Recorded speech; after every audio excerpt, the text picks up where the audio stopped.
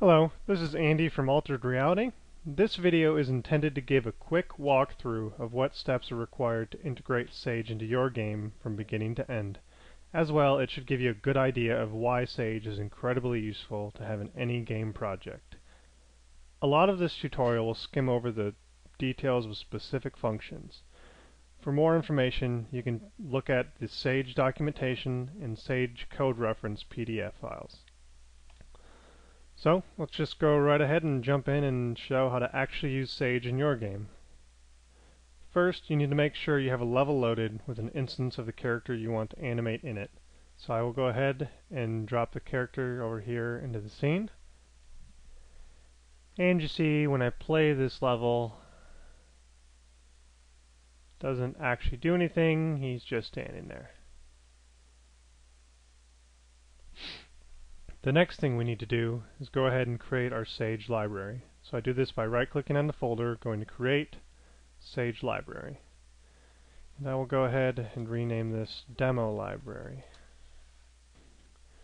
Make sure it's selected in the inspector, and then you can go over here and click Open in Sage Editor. That will go ahead and open the Sage Editor. We go ahead and move over here. For this example, all I want my character to be able to do is to have an idle state and a move state. So I will need two variables to do this, speed and direction. So I'll go ahead and click Add Float.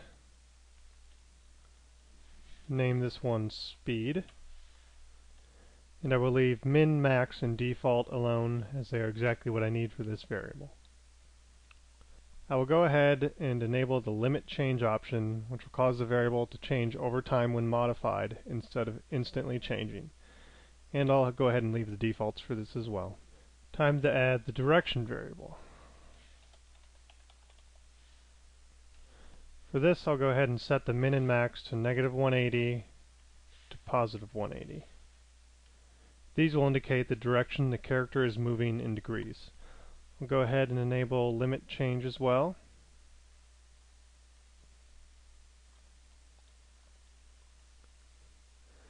And this time I'll also turn on wrap value. This makes the value circular, meaning if the value is negative 170 and the new value is 170, that it will approach the value the fastest way. It would simply approach the min value, then wrap around to the max value. Next, I will go ahead and create our main state machine and I will name it main. I'll leave the rest of the defaults alone. We need to first go ahead and link our character animation prefab to this graph. So do that simply by taking the prefab and dragging and dropping it on the template animation control. And that makes this graph directly linked to that character prefab. I will then go ahead and add the states that this state machine will use, which is just idle and move. I will create idle as a anim list node because it only has one animation that it needs to play. Go ahead and make that point at idle. And I'll go ahead and collapse this node to make more room in the graph. I will then create the move state, which will be a blend graph because we will want it to blend between multiple animations. I will also create two condition nodes which will control the transition between the states.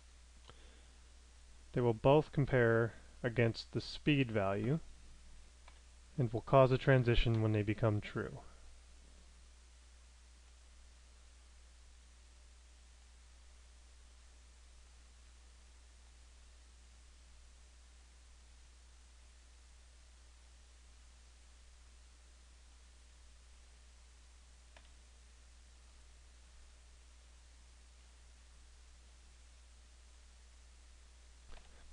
And that is my simple state machine. Last thing I need to do is configure my blend graph for my move state. I can do that by clicking on the Edit button in the blend graph node. First thing I need to do is create a variable node for the direction variable. Then I need to add a blend node because I'm blending between multiple animations because I am blending between four animations, I will need more blend outputs. Then we will also adjust the blend ranges so that way it will properly blend between the animations based off of the input variable of direction. This can be done easily by selecting a preset from the preset dropdown. I'll select large overlap with wrap value as the variable that we're inputting is configured to wrap value. I will then create the animation nodes that will point at my four directional walk animations.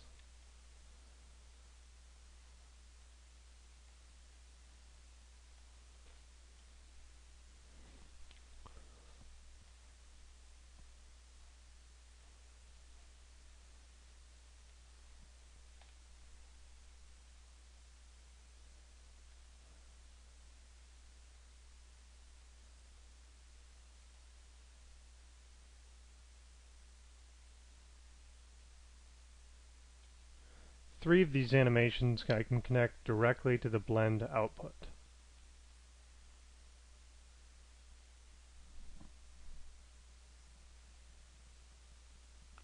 However, the backwards animation node, I need to connect the two outputs using a max node. This is due to the fact that my input variable was set up to wrap value.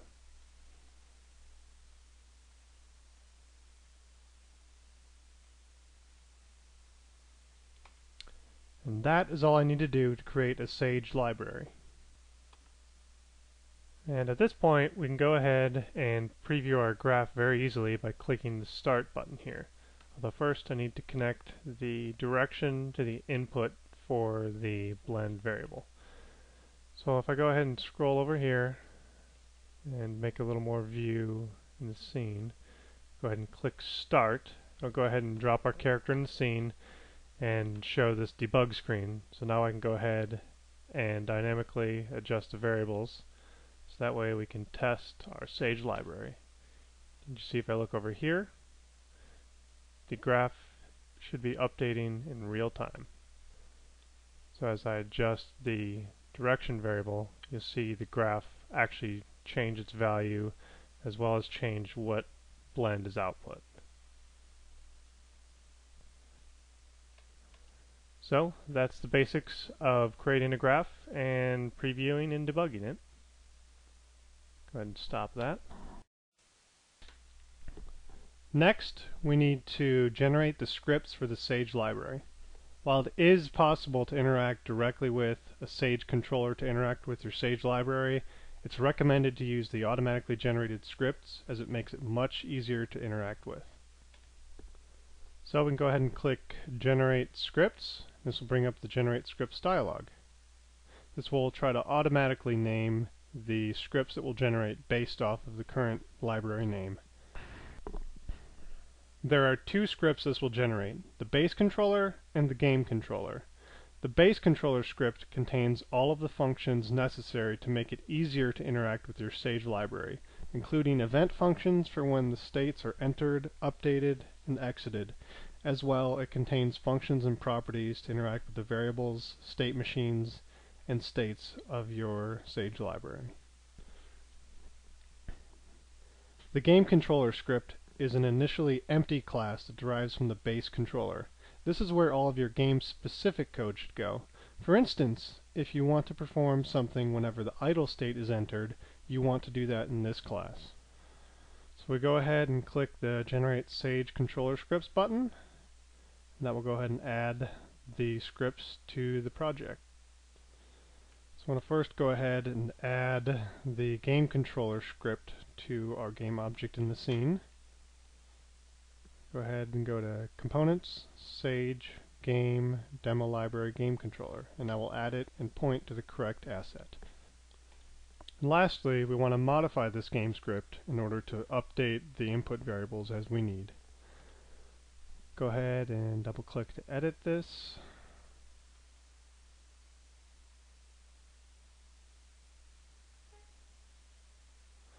And that will go ahead and bring up my script right here. I go ahead and copy in some helper functions that I've already written previously for displaying stuff to the screen and for getting the direction from an axis. Go ahead and hide these. So what I need to do for our class is to override the base implementation of the update function, although I still didn't make sure the base gets called. So I will get the axes of the controller input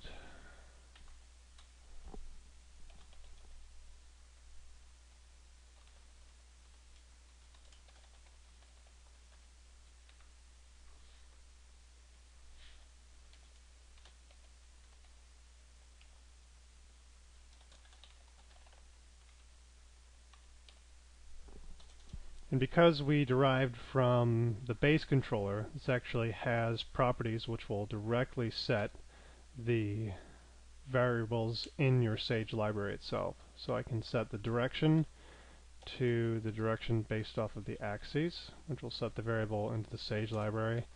And I can set the speed property to the magnitude of the axes. And that's all the coding we need to do to interact with our Sage library. Simple as that. So I'll go ahead and jump back to the game here and go ahead and launch it so that way we can take a look and see how it runs. As you see when I move the stick I'll move my character on different directions and I let go of it and he goes back to idle. And that is how quick it is to use Sage to create and control your character's animations both visually and easily. That concludes the game implementation walkthrough. For more information, please check our website. Thank you for using Sage. I truly hope you enjoy it. Feel free to let us know if you have any questions at all.